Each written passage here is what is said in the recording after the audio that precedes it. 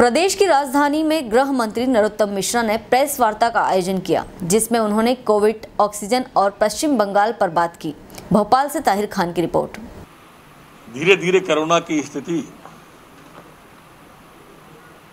नियंत्रण में आती जा रही है एक साइकिल जैसी बनती जा रही है उसकी आज हमारे जो पॉजिटिव के नए केस आए थे वो 12,508 हैं। जबकि जो डिस्चार्ज हुए हैं वो बारह हज़ार पाँच सौ बासठ मतलब संख्या धीरे धीरे नियंत्रण में आती जा रही है। कल आपसे जब मैंने निजी अस्पतालों की ज़िक्र की थी, मैंने आपसे एंबुलेंस के रेट करने की कल सुबह ज़िक्र की थी। कल आपने देखा भी होगा कि कल निजी अस्पतालों के लिए हमने तीन लोगों की समिति बना दी, संजय दुबे प्रमुख सचिव प्रतीक हजेला प्रमुख सचिव और संजय गोयल प्रमुख सचिव। कोई भी दिक्कत किसी व्यक्ति को आती है, कोई सुझाव, कोई जानकारी देना हो तो इन अधिकारियों को सीधा वो दे सकता है। लेकिन किसी कीमत पर भी लूट नहीं मचने दी जाएगी, गरीब के साथ अन्याय नहीं होने दिया जाएगा। ये सरकार संकल्पबद्ध है इसके लिए। कुछ तो भी रेट, कहीं तो भी रेट ऐसा नहीं होना चाहिए। और इस तरह के सुझाव भी अब चिंतन में ले लिए गए हैं। एंबुलेंस की रेट का कल बताया था 10 किलोमीटर तक दो सौ रुपए और उसके बाद 20 रुपए प्रति किलोमीटर के हिसाब से शहर के अंदर होगा। ग्रामीण में 20 किलोमीटर तक 500 रुपए और उसके बाद 20 रुपए प्रति किलोमीटर होगा और इसके बाद में जो वेंटिलेटर, ऑक्सीजन बेड आदि वाली रेट है, वो अलग होगी। ये एंबुलेंस का मूल रूप से क्राइटेरिया था। मुख्यमंत्री जी ने कल जो समीक्षा की थी, उसमें गाँवों पर विशेष ध्यान हम सने सने फोकस करते जा रहे हैं। हमारे जो वॉलेंटियर हैं, उनको भी। आज मुख्यमंत्री जी स्वयं नीचे ग्रामीण अंचल तक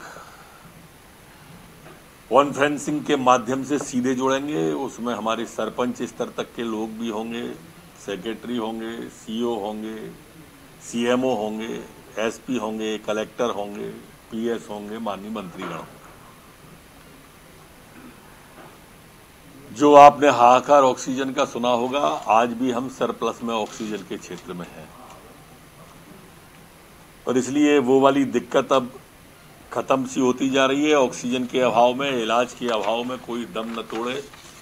सरकार पूरी मुस्तैदी से इस काम को कर रही है। कोरोना के, कोरोना कर्फ्यू के धीरे धीरे कोरोना की चैन टूटने के परिणाम अब सामने दिखाई देने लगे। और इसका जीता जागता उदाहरण वही है कि एक समय ऐसा आया था कि हम भ्रम की स्थिति में भ्रम की स्थिति के कारण भय की स्थिति में आ गए थे तो रेलवे की रैक हमको लगवानी पड़ी थी उसको बनाने के लिए। कोरोना के, के लोग कहीं इतने ना हो जाएँ कि हमें रेल के डिब्बों के अंदर शिफ्ट कराना पड़े और आप पिछले आठ दिन में देखेंगे एक भी व्यक्ति को वहाँ नहीं ले जाना पड़ा है। अस्पतालों के अंदर पर्याप्त व्यवस्था मध्य प्रदेश के अंदर है।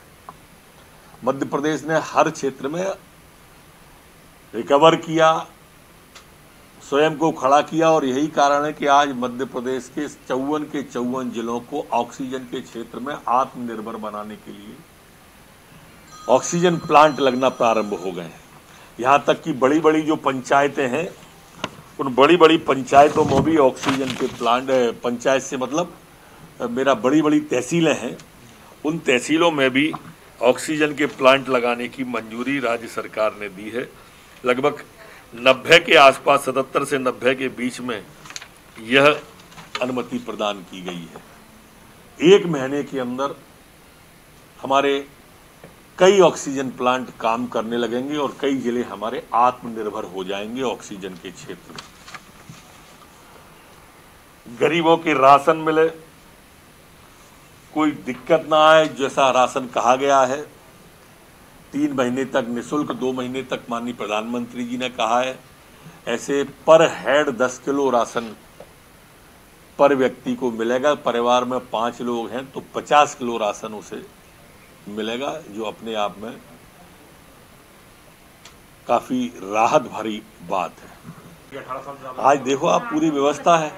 अब पोर्टल पे जो आएँगे और पोर्टल जब मैसेज भेजता जाएगा और लोग टीका कराने आते जाएँगे तो कोई अव्यवस्था नहीं होगी। एक साथ में सारे लोग आ जाएँगे जिनने रजिस्ट्रेशन कराए हैं तो अव्यवस्था होगी। दे रहे हैं मैंने खुद ने दिए पर इतना जी है कि ये इस बीमारी में सहायता पे भी ये फ़ोटो खिंचवाना चाहते हैं ढिढोरा पीटना चाहते हैं। मैंने खुद ने अपने क्षेत्र में दिए अगर उनको विश्वास नहीं है तो वो कलेक्टर से पूछ ले मेरा लेटर है कि नहीं। लेकिन ये ढिढोरा पीट रहे हैं, हमारे विधायक दे रहे हैं, बस इतना ही सा अंतर है। पश्चिम बंगाल की जिस तरह की हिंसा आई है, जिस तरह से सेना के जवानों के, जिस तरह से भाजपा कार्यकर्ताओं के आगजनी, लूट, हत्या, बलात्कार। अब कमलनाथ जी का क्या कहूँ? ये वही कमलनाथ जी हैं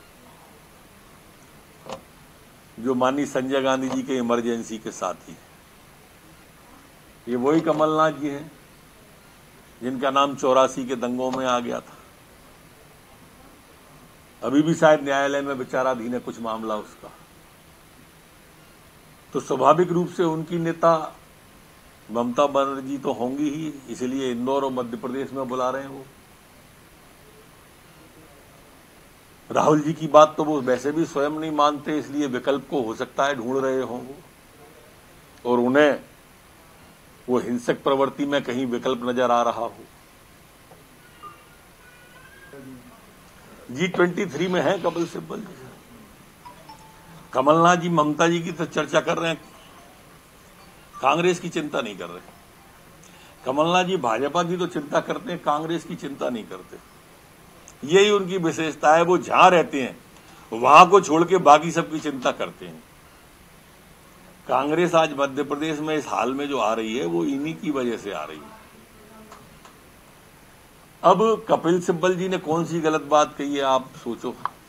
पश्चिम बंगाल में डबल ज़ीरो आ गया, और राहुल जी कह रहे थे आई एम हैप्पी यानी मी हैप्पी क्या लिखा था वो ट्वीट पे।